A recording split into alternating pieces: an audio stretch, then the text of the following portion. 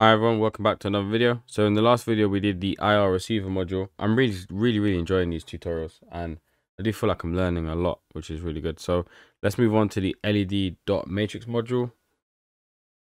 I assume here we're going to be able to put some like letters and numbers and stuff onto a screen or onto basically a board of LEDs. So LED dot matrix module. In this tutorial we'll connect a MAX 7219 and scroll the text across. Nice. Uh, since these modules use the MAX 7 LED driver chip, we will be able to turn on and off the 64, wow, 64 LEDs of each module using only three pins on our Uno. So it's just the Uno R3, the MAX 7219, and then five male-to-male jumper wires. So our project is in fact, oh, that's what it looks like. Oh yeah. Our project is in fact an Arduino serially interfaced, uh, Arduino serially interfaced to, okay, that operates an 8x8 LED matrix. The MAX IC is a serial input-output common cathode display driver that interfaces microprocessors to a 7-segment numeric LED display of up to 8 digits.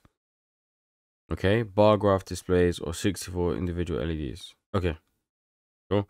For convenience, here is an 8x8 LED matrix integrated with da da da. Okay, so it looks simple enough. So it's just VCC to 5 volts, ground to ground, and then we've got three pins so there's pins on either side of it. We're just connecting one side of the pins. Then we've got a DIN pin out, which goes to D12. We've got a CS pin out, which goes to D11, which is a pulse width modulation pin. And then we've got uh, a clock signal, which is going to D10, which is again PWM. All right, so no need for a breadboard, just nice and simple circuit wiring diagram here. Okay, so the LED matrix is just here. We've got our Uno, and then we just need three wires. Okay, so we need the... It said male to male. Why would you use male to male? It's going to be male to female, right? They get very confused with these male to male, male to female stuff. Alright, so let's... I'm not going to worry about... Should I stick to colors? Alright, go on. We'll stick to colors. I know some of you... I mean, most most of you wouldn't need the colors. I don't think you'd need to follow the colors by now. But let's just do it anyways because good practice, whatnot. Alright, so I need a yellow. Okay, so I hate the fact that I don't have the right colors, but it's fine. So I just did red to VCC. You can see there. And then I've done black to ground. I've used orange instead of the light blue for the DIN color, the DIN pin. And then I've done yellow for CS and blue for clock. Alright, so always start off with the easy pins. So let's just connect our ground to ground. And then our 5 volts to 5 volts. The LED is actually lit up already. I think it's because it's got um the I think it's got my membrane code on there right now, or the IR receiver code. All right, so I'm using orange as my in pin, and so that's going to 12. Can't really see what I'm doing. 12, there you go. And then we've got yellow as the CS pin, and that's going to 7. And then finally, the clock pin going to 10. Not the best with the way that these wires are, they're just bending all over the place. But anyways, all right, let's carry on. So after wiring, please open up the programming code. Before you can run this, make sure you have installed the LED control library. Fine. And then no, no explanation about the code whatsoever. It just sucks. I don't know why they don't do it, but okay. So there's the LED control library. Okay, so let's add the library in, which I'm sure is going to cause me problems of some sort. Include library, add add.zip library, and then navigate to the folder. Okay, here we go. Add LED control. Okay, so for me, it says that I've already got the library installed. So if you don't have it installed, just install it. But yeah, I've already got it. Okay, so let's just hit upload. Uploading the file now. Let's see what happens. I wonder which way you're supposed to hold it. I assume you're supposed to hold it like that. There you go. It flashed briefly. Okay, done uploading. Oh, there you go. Oh, wait. Did that say? Did that say Arduino? It doing? Is it supposed to be doing this? cut off some lights.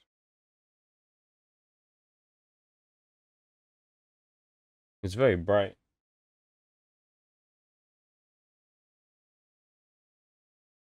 Okay. I assume it's supposed to be doing this, but I don't know. These pin numbers will probably not work with your hardware. Hold on about. What? This thing's glitched up. Either I've done something wrong or this code just sucks. It seems okay. It's doing. It seemed like it spelled out Arduino there, but then it did it whilst these two columns were illuminated, which is just weird. I'm just gonna leave that there in case it does anything else interesting. So it spells out Arduino, but then okay. All right, let's have a look at the code. Now we need the LED control to work with. These pin numbers will probably not work with your hardware. Uh, okay. Okay, so the DIN pin is the data in, okay, and then we've got load for CS and clock. Am I using the right pins? So 12 is supposed to be for data in, yeah, and then CS is 11 and clock is 10. Okay, so I'm using the right pins.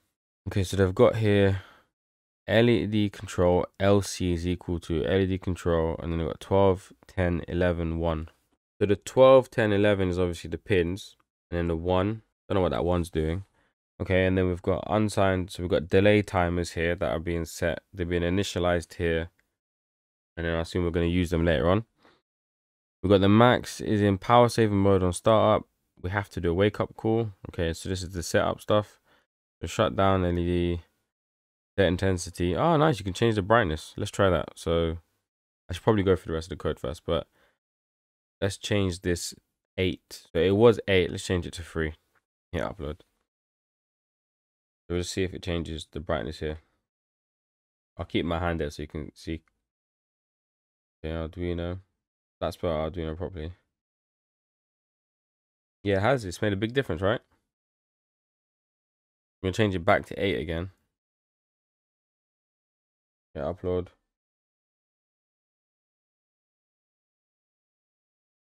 Yeah, you can see that. That's way more brighter. Okay, so then we clear the display. Nice. So all I have to do to clear any display, I just have to do lc.clear display. Okay, so this method will display the characters for the word Arduino one after the other on the matrix. You need at least five times seven LEDs to see the whole characters. Okay, so Arduino. Nice, I get it. So these are the okay. I get it, but it's gonna be hard for me to explain it. So that this line, okay, this B number, whatever it is, refers to this whole top row. So when it's spelling out A, it's saying that it's a zero and then a one on, on, on, on, on, on, on, off. And then you've got here on, off, off, off, on, and so on and so. So these refer to the eight LEDs, right? One, two, three, four, five, six, seven, eight. Yeah. This combination of numbers. I don't know what the B is for, but the combination of numbers refer to the LEDs. Okay, so we're spelling out Arduino and then we're saying now display them one by one with a small delay. So, okay, LED set row zero. Not sure what's going on here. This function lights up some LEDs in a row. The pattern will be repeated on every row. The pattern will blink along with the row number. Just a bunch. Okay, that's just silly code, but all right, fine. So here we these are all functions we're talking about here, and then I assume in the loop main loop we're gonna so right on Arduino matrix on the main there's gonna be a loop, and then here it's calling each of the functions. Yeah. Okay, so we've got it doing four different things. So I don't see the point in this pattern. I'm not going to use that pattern. I'm more interested in writing onto the LED. So let's hit upload here. Then I should just write onto the Arduino. It should just write Arduino over and over again. There you go. Okay, now on A, the first four LEDs aren't illuminated. Then these two are, and then that one's not. So it should be 0, 0, 0, 0, 1, 1, 1, 0. Okay, so first I'm just going to get rid of these um these functions. I don't need them. Void columns, rows. Just turn on a bunch of random entities, making it confusing for me. Okay, so now display them one by one with a small delay. Okay, so here we're defining, we're defining what A is, and then we're using it here. A to set all of these rows. Wait, how many rows are there? One, two, three, four, five rows. Why are we only setting five rows? it's using seven of seven of the okay so i would like to display my own name or just ch- like display my own text and i'm not about to try and start figuring out what combination of leds i need for each letters that is long. So let's get on google okay um okay so if i just google this okay so we got an uh, a link here guide for 8 by 8 that's what we got the max 7219 okay let's see what we got here. So looking for the code okay find define here we go. So here's all of the letters. If time count ah this is nice. What's this all doing draw screen. Okay so that one's got all of the letters so i'm probably going to use that. Okay so here's how you would you would figure out what you wanted to display. Yeah i thought so. Zero zero one one one like this. So here it's displaying happy so happy face neutral face sad face. Okay i won't copy. I'll stick to this code that we've got here. Let's copy in all of those these letters here and then i'll use them. So byte all the z. Okay. So get rid of these. Copy these onto here. There we go. So i've got all the letters i need now. So now if i wanted to change this what's going on there? There's some space there. That shouldn't be there. Okay so if i want to display h i should just be able to just call up on this byte here and this should be the combination for h let's try that so if i change these to h now i'm surprised that why are there only five and not eight okay let's just hit upload see what happens so i should get a h nope didn't didn't like the r okay that's because I've removed the other one. So let's change these to A then. A, A, A, A. Do the same here. M. So I'm, in case you don't know, my name's Hamed and I'm spelling out Hamed. So M and then and finally D, E, E. Okay. And so let's remove these ones. And what's with this? We've got it setting it all to zero again, like as in turning it off. Okay, we'll leave that there. Well, I don't think we've defined zero, so it might no, it should be fine. Okay. See what happens. Okay, so that it worked. Oh. Um. Okay. I thought so. So it's only this is only using the first five rows. So I need more rows, right? I surely need eight at least, right? So going up to seven. As you can see there, it looks like it's cut off basically. ED, yeah, it has Weird code this. Okay, so let's, we need another three rows. And so that's got to be five, six, seven. All right, let's try this now. So it should, it should display the H properly this way, isn't it? No, it didn't like it. Well, it accepted it, but... Hmm. Oh, I've I've been silly here. So I've got to go five, six, seven here as well. I to the rows there. Okay, try again. There we go. So it displayed the H properly. And so now it's just got these two still illuminated from the H. Let's fix the other rows as well. So we've got what, an extra three rows. So so many of my problems when it comes to programming come from copy and pasting. Is a big problem. Okay, so change these now to D. I forgot E here. E.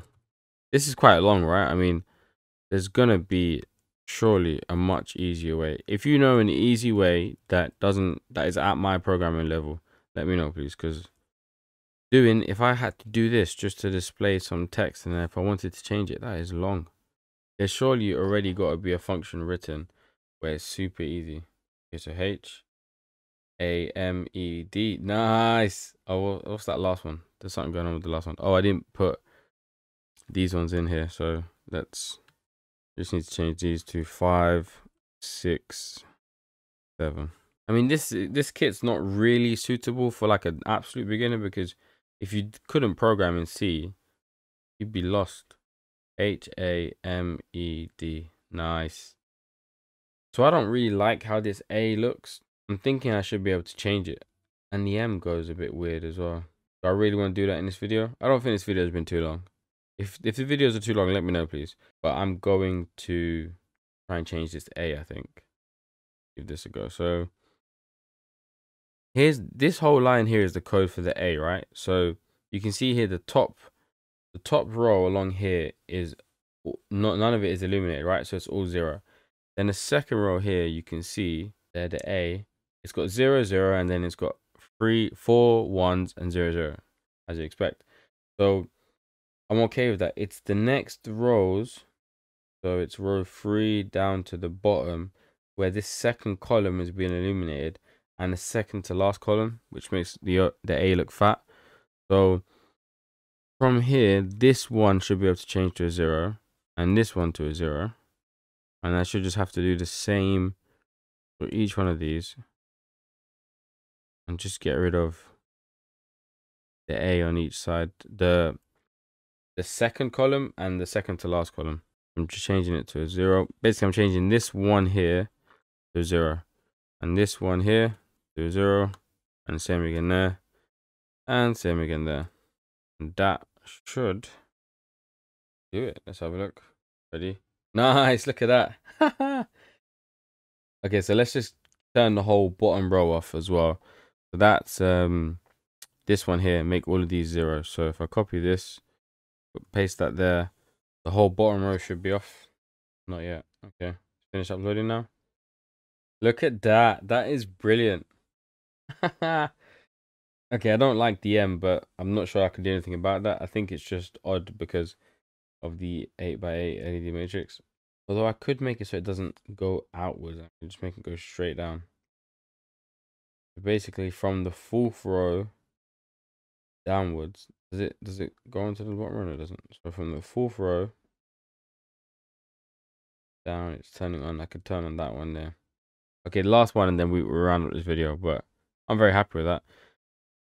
Uh, so we're doing, let's do M here, this whole row here. And then we're saying that from the fourth row, which is here, we're turning on the first row, the first column.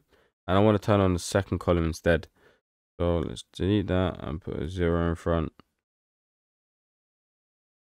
Zero, one. So I'm basically swapping. Instead of one, zero, I want zero, one. Zero, one. And that one's off. Let's see how that looks. This can get confusing fast. Okay, ready? That looks much better. So just got to do the same again on this side here where it's the second to last one being lit up and we need it to be the third to last one. So still staying on M. Instead of 0, 1, we want 1, 0. Instead of 0, 1, 1, uh, 1, 0. And 1, 0. 1, 0. Okay, let's have a look. There you go, ready? H A M. Look at that. That's much better. The M's still a bit off, and I'm not sure there's anything I could do about that. Regardless, it's going to be off. It's either going to be off to this side or off to that side. So I'll leave it as that. I'm very happy with that. Have a look. Now the thing is, it is a bit long. If I was to start then writing out and saying Hamed is cool, it's gonna take some time, isn't it? What would probably be best would be you create a function that does that, and then you just pass in the letter that the the variable, the byte that you want up here. So you create a function and just pass it in parameters. That's probably going to be the easiest way to do it. But then even then, you're probably going to then need like a loop. Okay. If I'm going to start doing that, and I'm a bit, I've, I must say I'm a bit rusty when it comes to functions and parameters. I haven't coded in C properly for a year now. So I'm not going to do that on this video because I'll probably get it wrong and you guys will laugh at me. So I'll leave this one like this. Very happy with this. This is this is cool. Look at that. This is brilliant. Yeah, so I'll leave this one here and I shall see you guys in the next one. As always, let's just quickly check what the next one is. Next up is MPU 605 module. No clue what that is, but I'll see you guys there. Thanks for watching. And if you enjoy it, leave a like. I appreciate it. Peace.